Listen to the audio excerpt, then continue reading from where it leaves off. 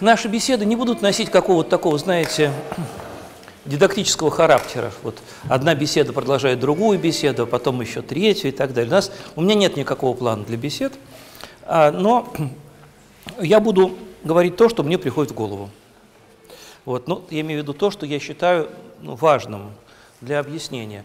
А сегодня я хочу с вами поговорить о причащении, потому что это уже третья литургия, которая происходит в нашем храме для детей э, с тяжелейшими заболеваниями и для их семей в том числе.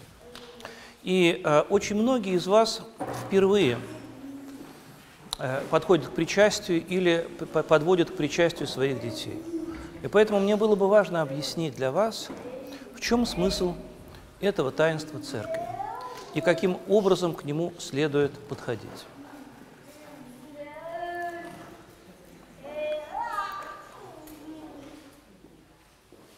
Существуют таинства и обряды.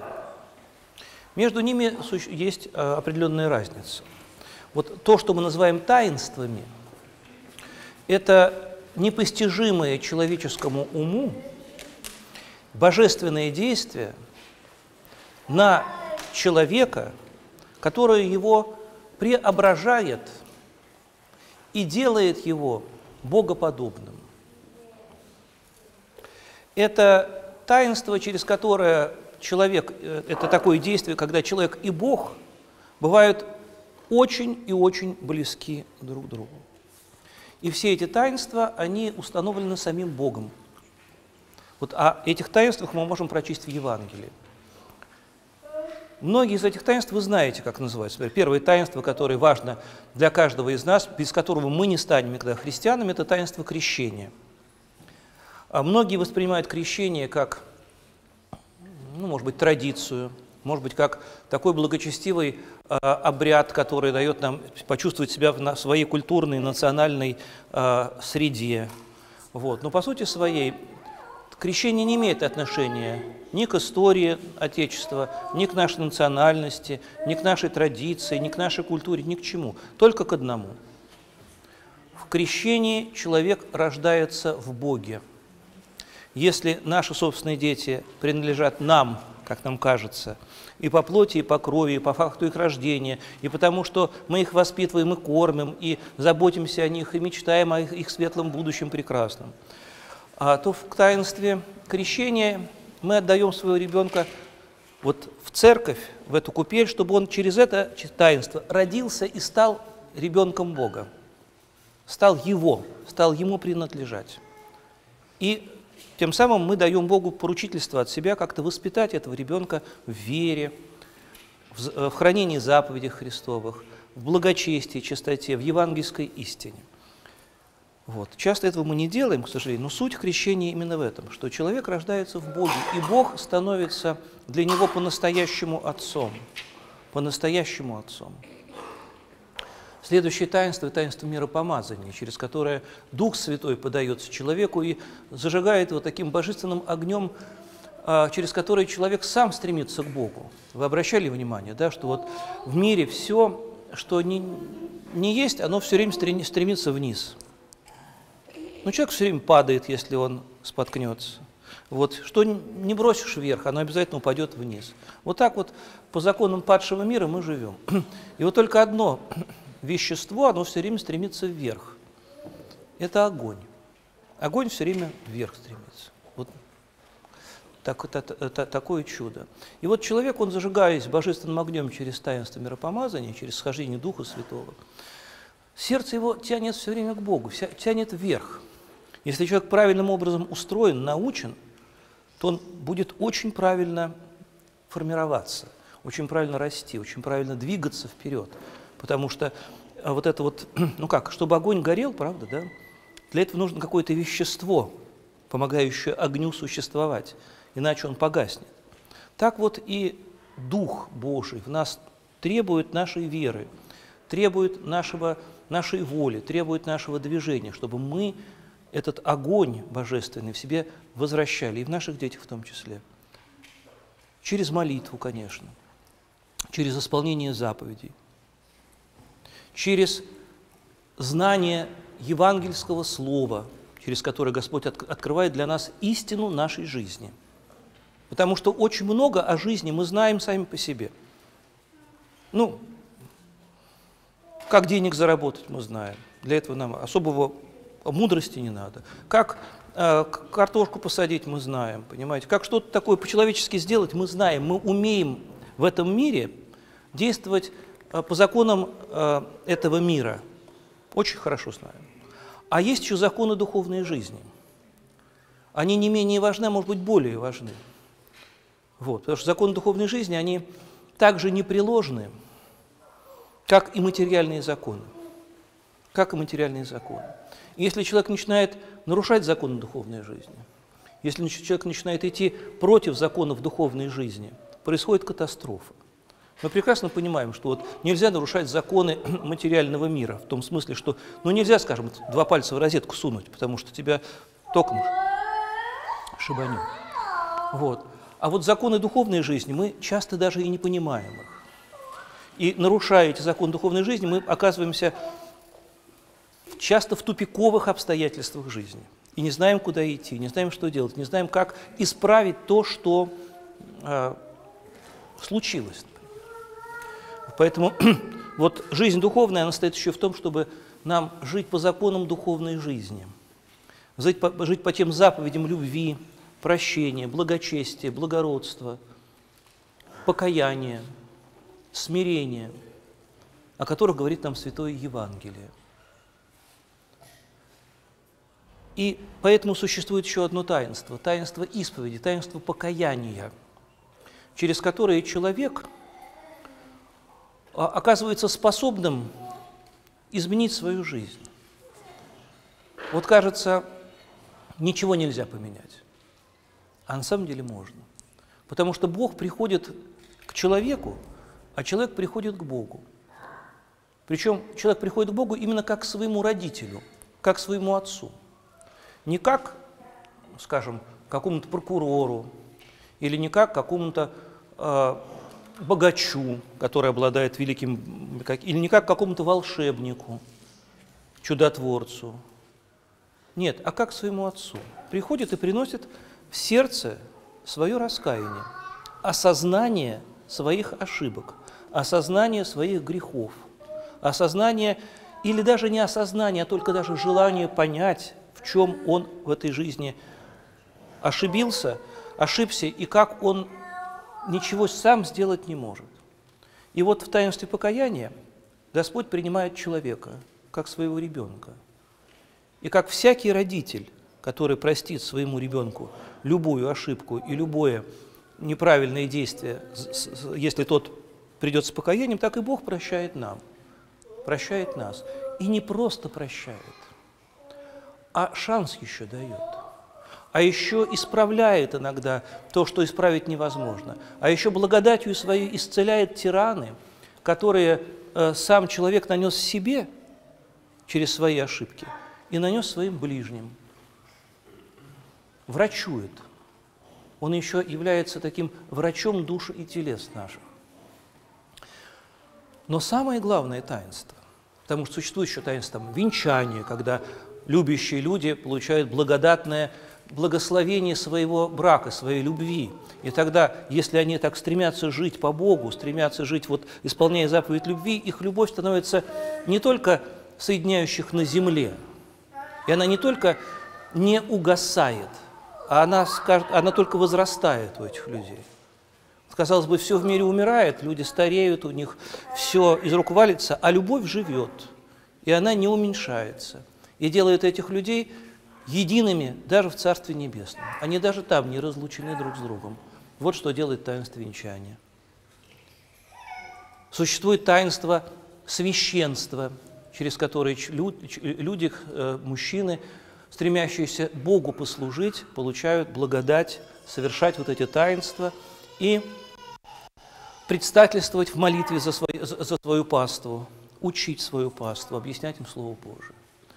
Но самое главное таинство Церкви – это таинство причащения, таинство причащения, которое установил сам Господь Иисус Христос во время Тайной Вечери – во время Тайной Вечери. И, наверное, вы все об этом знаете, или многие из вас об этом знают, как Господь со своими учениками перед своим крестным страданием, перед своим распятием собрался в Иерусалиме в горнице для того, чтобы совершить пасхальную трапезу, пасхальную вечерню, пасхальный ужин, такой, который до сих пор совершается во всех иудейских семьях верующих по сей день. Вот. И в конце вот этой пасхальной еды, пасхальной торжественной трапезы а, Христос взял в свои руки хлеб, благословил его и преломил, и сказал своим ученикам, «Это тело мое, за вас ломимое, во оставлении ваших грехов». Потом взял чашу с вином, тоже благословил и сказал, «Это в этой чаше кровь моя Нового Завета, за вас изливаемая во оставлении ваших грехов. Сие творите в мое воспоминание. Ибо когда вы будете есть хлеб сей и пить чашу сию, вы будете возвещать мою смерть и мое воскресение. С этого момента в церкви, после воскресения Христова, всегда в течение вот этих двух тысяч лет – совершается это таинство тела и крови Христовых, которое совершается во время службы, которая называется божественная литургия. Приносится обычный белый хлеб в виде просфоры, красное вино, и священник вместе со всем народом Божиим, а вы народ Божий, вот, молится Господу э, о том, чтобы Он послал благодать Святого Духа, Духа Своего Святого послал и сотворил хлеб и вино истинным телом и истинной кровью Христовых.